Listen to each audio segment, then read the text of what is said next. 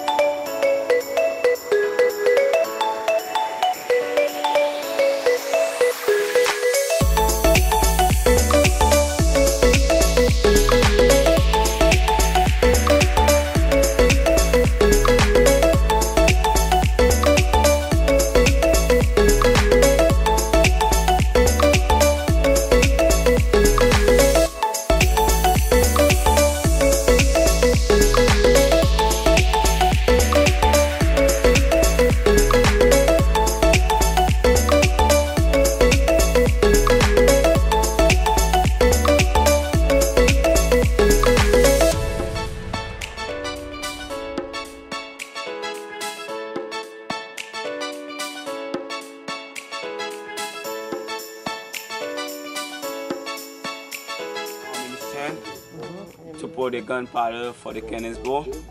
After they have the poison for the lazy soldiers. The soldiers bad fight. For example, we have 50 soldiers and 25 could sleep and 20 half the soldiers.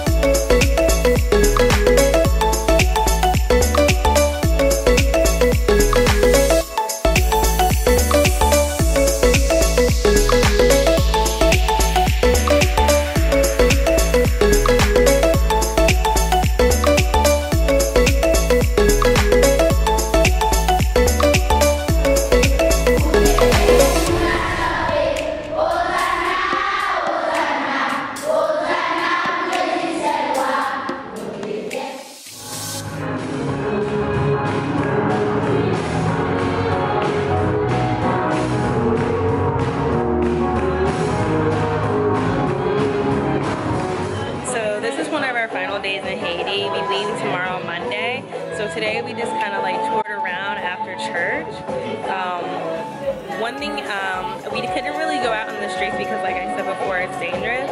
But one thing I did learn about Haiti that even though there is a lot of corruption and turmoil destruction in the country because of the, the hurricane, it's still a beautiful island to travel to. And I'm so glad that I got a chance to come here. Um, literally, this has been one of the best experiences, a very knowledgeable experience, and an eye opener. And I've learned that Americans, we are so privileged, or first world countries are so privileged. Um, these people, they fight every day to like put food on their table and survive for their family. So it's just it's really nice to see. It's a really nice change to see how privileged we are and see how much we have, how much we take for granted.